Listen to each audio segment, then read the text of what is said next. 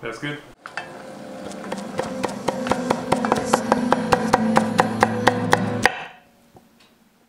Good morning!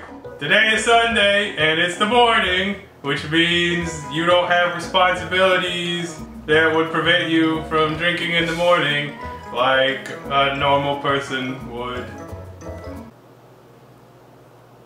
Since it's Sunday and we have a busy life, we're an adult and so are you, we gotta cook food for the week.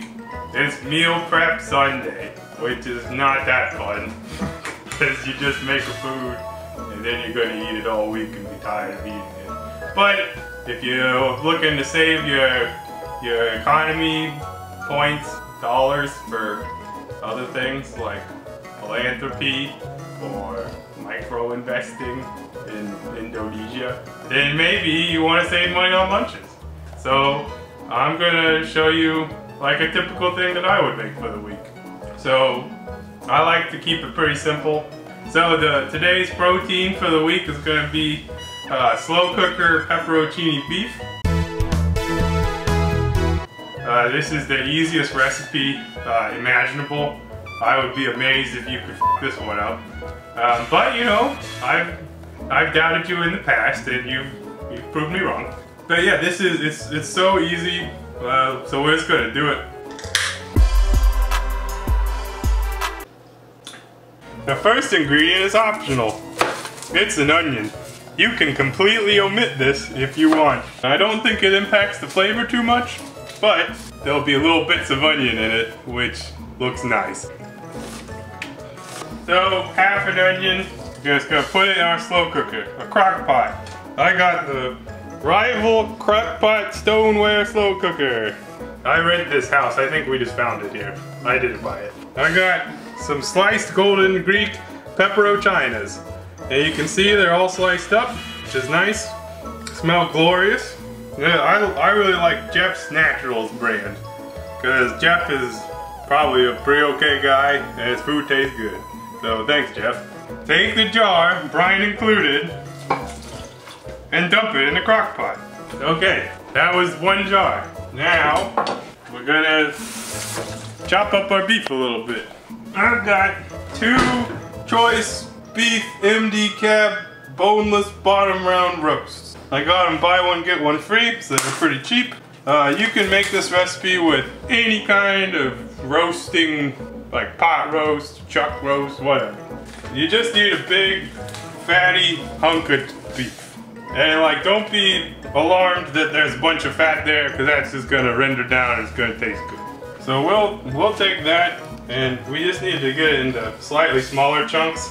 If you were feeling just like the laziest person on earth, you could omit this step as well, but it'll take longer to cook.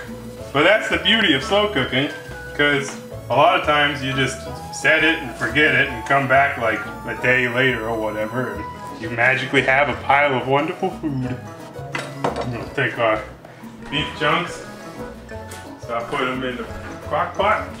I'm making about four pounds of beef, which is honestly, like, if you were meal prepping for one, you probably should not consume that much beef. You probably have heart disease instantaneously. But I cook for my family, so I'll probably freeze some of this too. Alright, so we got our big chunks of beef. I had to try and press them down as much as possible because you you want them to be submerged in the pepper brine. Then we're gonna add another jar. Same thing over the top. You can add herbs, spices, or whatever, but it's not gonna make really that much of a difference at all. Because the pepperoncini flavor is so strong uh, that like you probably won't notice much else. Uh, one thing that I do want to say about this is that if you don't like pepperoncinis, you should still try this because it doesn't tap like the sharp, overwhelming flavor. It really mellows out into like a slight bite to the meat, but it doesn't taste at all like raw peppers or pickled peppers. So, we'll plug her in and we will set it to low. Uh, if you're on a time crunch, you can try cooking it at high heat, but it won't be as tender. Um, sometimes I like start at high just to get it going, and then bump it down to low as soon as it looks like it's hot. And I think that's what I'm gonna do today. You, I mean, it's done. Like it'll be cooked in a couple of hours, but it, it starts to get really tender and nice at like the six to eight hour range. So we'll check on it periodically. But for now, you can go about your day. Go to church. Don't drink beer. Now that your slow cooker is kind of steamy on the top, you want to smell that too, Vinny? Nope, no interest. We'll turn it down to low. It's gonna be a while. High five. Listen here, dick butts. Just cook some rice. And if you can't cook some rice, then you need to f off. Gotta cook some rice. The rice is done. I cooked it. It's brown rice. Yeah. I think the beef's like pretty much done. Oh yeah, it's done. It's all bubbly. You can see it's super tender. Like eight hours, I think, or more. Eight to nine hours is the time it's been cooking for. I think. If we just get some veggies, it'll be a complete meal. Let me just cook some of those, I guess. Like some Brussels sprouts. I've cooked them before. Did we film it? I don't know. If you don't know how to do this, we did it in some other video, but there. You finished your meal prep. It only took all day. Some rice. Put it in. Don't want too much rice. That's not good for you. So they say. Brussels sprouts. Those are good for you. If you don't like them, you should just cook them better. Then you probably will like them. Otherwise, you're probably just an idiot.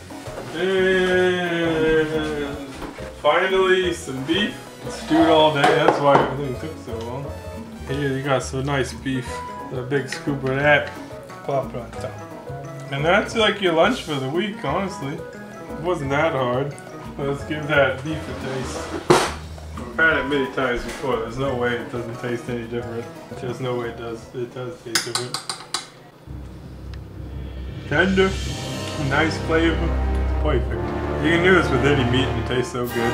That's how you be a responsible adult and make lunch for the week. Should have made the beans and corn too, but uh, maybe another day. I like it. Bye now.